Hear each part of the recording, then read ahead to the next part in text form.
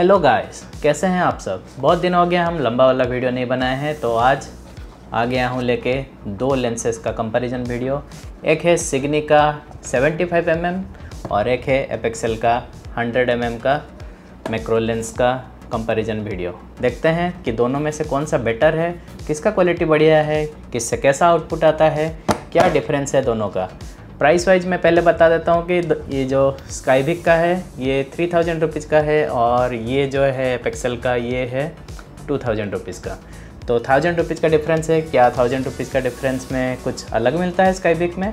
तो चलिए आज शुरू करते हैं और देखते हैं दोनों में कौन सा बेटर है। ये दोनों लेंस का फुल रिव्यू वीडियो आपको नीचे डिस्क्रिप्शन में मिल जाएगा और दोनों का बाइंग लिंक भी नीचे डिस्क्रिप्शन में आपको मिल जाएगा। तो जब आप स्काईविक का डब्बा खोलेंगे तो ये हार्ड टाइप का एक कवर मिलेगा आपको। उसके अंदर आपका आता है एक बैग।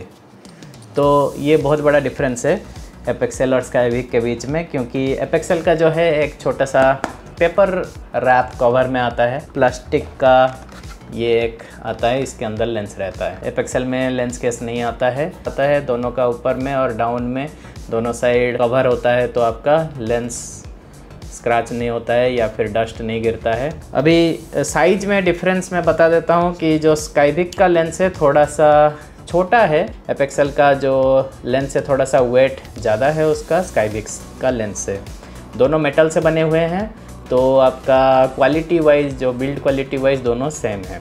और एक डिफरेंस ये है कि जो स्काईविक का कैप आता है, टॉप वाला कैप, ये मेटल से बना हुआ है, लेकिन एपेक्सल का जो टॉप वाला कैप है, ये प्लास्टिक से बनाया होता है। और क्लिप में मैं डिफरेंस बता देता हूँ, ये स्काईबिक का क्लिप है और ये एपेक्सल का क्लिप है। एपेक्सल का क्लिप में एक एडजस्टेबल वाला यहाँ पे दिया हुआ है, जो होल को आप एडजस्ट कर सकते हैं। अपना कैमरा जिस साइड में है, उसी हिसाब से आप इसको एडजस्ट कर कर सकते हैं। लेकिन स्काईबिक में ऐसा नहीं है, लेकिन स्काईबिक में एक, यहाँ पे एक एडजस्टेबल वाला दिया हुआ है ये वाला एडजस्टेबल वाला यहाँ पे।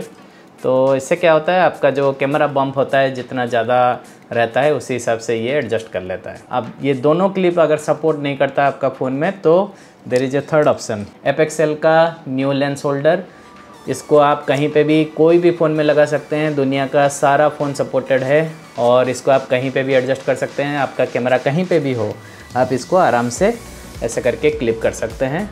और ये आराम से क्लिप हो जाएगा। तो जैसे कि आप यहाँ पे देख सकते हैं, और इसको आप ऊपर नीचे कहीं पे भी एडजस्ट कर सकते हैं, और या इसको लेफ़्ट राइट करके कहीं पे भी एडजस्ट करके लगा सकते हैं। तो ये हो गया आपका एपेक्सल का न्यू लेंस होल्डर जिसको आप कोई भी फ़ोन में, अगर कोई भी फ़ोन में अगर आपका यूनिवर्सल क्लिप सपोर्ट नहीं करता है तो ये यूनिवर्सल होल्डर को लगा सकते हैं। लेंस में है। यहाँ पे लेंस बैग दिया गया है दोनों में। दोनों साइड में क्लीनिंग क्लथ दिया गया है। एक एक्स्ट्रा लेंस होड दिया गया है स्काईबिक का डब्बे में जो कि एपेक्सल में नहीं है ऐसा। तो ये सब एक्स्ट्रा थिंग्स है जिसके लिए आप थाउज़ेंड रुपीज़ एक्स्ट्रा पे कर सक पे, पे कर रहे हैं। ठीक है?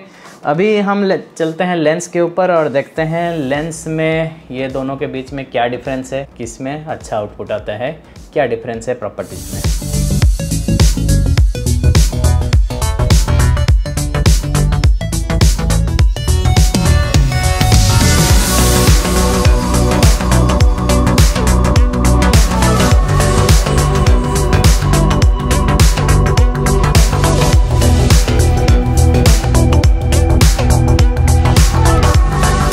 तो फ़र्स्ट टेस्ट है बोके टेस्ट क्योंकि ये लो मैग्नीफिकेशन मैक्रो लेंस है दोनों तो इसका बोके बहुत ब्यूटीफुल आता है। तो ये है एपेक्सल का 100 एम mm का, और ये है स्काईविक का 75 एम mm तो जैसे कि आप देख सकते हैं, यहाँ पे दोनों का डिफरेंस थोड़ा सा ही है, यह एपेक्सल का जो 100 एम mm है, उसमें बड़ा बड़ा बोके आता है। बोके मतलब जो बैकग्राउंड का जो गोल गोल टाइप का जो ब्यूटीफुल बोके दिखता है। और स्काईबिक का बहुत सारा बुके आता है छोटा छोटा बुके आता है। बस यही डिफरेंस है। दोनों में से तो आपको जो भी अच्छा लगे, आप वो वाला लेंस ले सकते हैं। अगर आप मेरे जैसा फ़ैन हैं बोके का, मुझे बहुत ही अच्छा लगता है। मैं ऐसा टाइप का माइक्रोसॉफ्ट लेता हूँ जिसमें बहुत सारा बोके हो बैकग्राउंड में। तो आप उसी हिसाब से अपना लेंस चूज़ कर सकते हैं।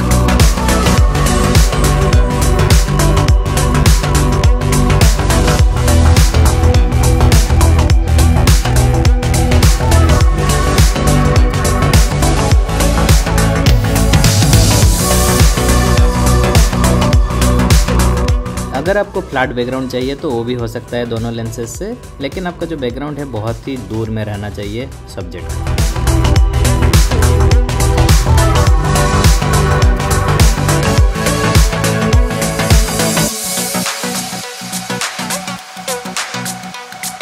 बहुत सारा बुक टेस्टिंग तक कर लिए अभी हम फोकस डिस्टेंस में भी बता देता हूँ कि दोनों का फोकस डिस्टेंस सेम है, दोनों का मैग्नीफिकेशन सेम है, दोनों का फोकस डेप्थ सेम है तो ऑलमोस्ट दोनों लेंस सिमिलर हैं, कोई डिफरेंस नहीं है, दोनों ही प्रॉपर्टी में सेम है, बस ओनली जो बोके का इफ़ेक्ट आता है, बस थोड़ा सा उसमें डिफरेंस है।